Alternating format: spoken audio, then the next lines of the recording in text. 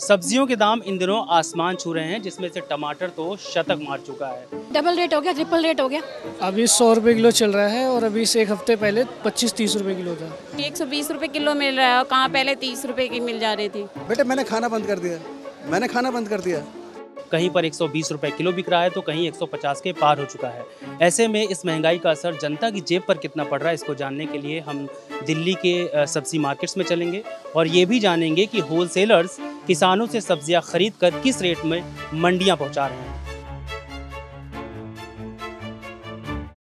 सारी सब्ज़ियाँ महँगी हो गई है। गरीब तो इंसान ज़िंदा ही नहीं रह सकता। मुनाफा कुछ नहीं हो रहा। चार जो लाए हैं ये पिछहत्तर का लाए हैं अस्सी रुपए बेच रहे हैं। अपने घर से घाटा है इसमें भी। आगे से आ ही रहा है ऐसा। ये हम सोच रहे हैं कि आगे लोग कमा रहे हैं इसमें कोई कुछ नहीं कमा रहा है ये नुकसान है बल्कि और। हम लोगों के पैसे भी आगे रुक जाते हैं पैसे फंस जाते हैं इतनी तेज़ी के कारण। किसान का तो जो पर्चा बन गया वो पैसे चले गए।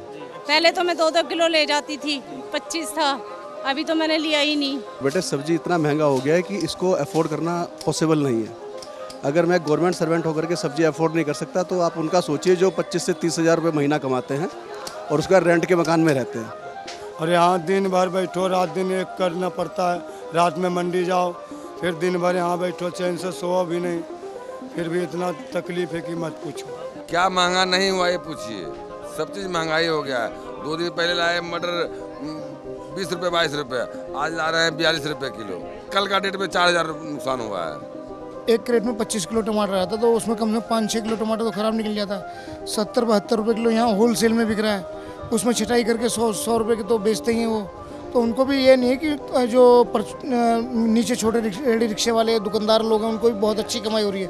उनको भी कमाई नहीं हो पा रही। नुकसान हो रहा है। देखिए ना टमाटर बहुत खराब निकल रहा है। अभी पीछे देखिए सारा ग्रेवी भरा हुआ है। नुकसान बहुत हो रहा है अभी। खर्चा भी नहीं पूरा हो रहा है। रोज के रोज हज़ार पंद्रह सौ घट रहा है। क्या करे दुकान है किराया भरना पड़ता है हर चीज़ भरना पड़ता है मालिक को देना पड़ता है। इसके लिए हर चीज़ करना पड़ता है ना अपने को? क्या नाफा होता है? पचास रुपये तीस रुपये करेट बचता है और क्या?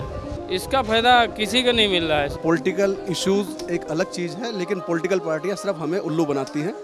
अल्टीमेटली सफ़र हमें ही करना पड़ता है। हमने बेटा इतना गंदा माहौल नहीं देखा जितना हम पिछले जो है टाइम से फेस कर रहे हैं। बहुत मुश्किल है बेटे सफ़र करना। एडजस्ट तो करना पड़ेगा ना बेटा?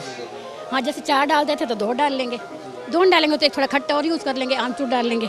अब तो बेटे वही वाली बात है, या तो जी लो, या फिर इस महँगाई में अपने आप को ढाल लो, और कोई वो नहीं है ये तो बात रही दिल्ली की सब्ज़ी मार्केट्स की, जहाँ पर हमने ग्राहकों से बात की कि वो कितने रुपए में सब्ज़ियाँ खरीद रहे हैं, कितने रुपए में टमाटर खरीद रहे हैं, और हमने बात की दुकानदारों से जो सब्ज़ियाँ बेच रहे हैं, वो मंडियों से कितने रुपए में सब्ज़ियाँ ले रहे हैं। इसके अलावा अब हम चलेंगे दिल्ली से सटे गाँव जेवर में, और जानेंगे कि वहाँ पर किसानों का क्या हाल है वो उनको कितना नफ़ा हो रहा है, कितना नुकसान हो रहा है। पूरा सरकार की नाकामी है। उत्पादक को पैसा नहीं मिलता। उपभोक्ता की जेब कट रही है। बीच में पैसा पूरा का पूरा ये जा रहा है। उत्पादक करता है तो उसे कोई सब्सिडी नहीं है, कोई हेल्प नहीं है सरकार की। केवल उत्पादक को और उपभोक्ता को टैक्स देने से मतलब है। सरकार की इनको कोई भी, इनके लिए कोई ज़िम्मेदारी नहीं है। टमाटर की दरअसल क्या है कि इसमें रेशियो पूरा जितनी लागत लगती है, उस हिसाब से मार्केट से पैसा मिल नहीं पाता है उसका। एक तो पेस्टिसाइड्स बहुत महँगे हो रखे हैं पेस्टिसाइड्स का कॉस्ट बहुत आती है लेबर चार्ज बहुत ज़्यादा आता है।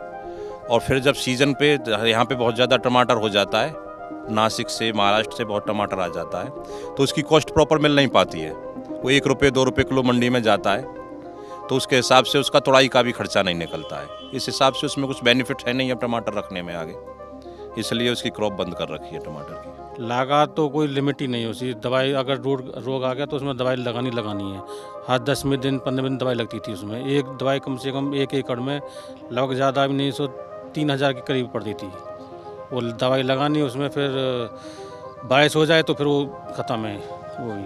अब दोनों ही कड़ी जो है बेकार हो चुकी हैं। उपभोक्ता तो की तो जेब खाली होगी ज़्यादा देने से। और उत्पादक को कुछ मिला नहीं। तो ये तो अराजकता कहिए इसे। बीच का पैसा ये बीच के ठेकेदार ले लेते हैं ये पॉली हाउस वाले ज़्यादा पैसा कमा लेते हैं। जो पॉली हाउस में टमाटर होता है पॉली हाउस का चलेगा। अब ऑफ़ सीज़न टमाटर चलेगा जो पॉली हाउस लगाएँगे उनमें चलता रहेगा पॉली हाउस वाले ले जाएँगे पैसा बीच का। किसान को तो उसकी लागत का आधा भी मूल्य नहीं मिल पाता है।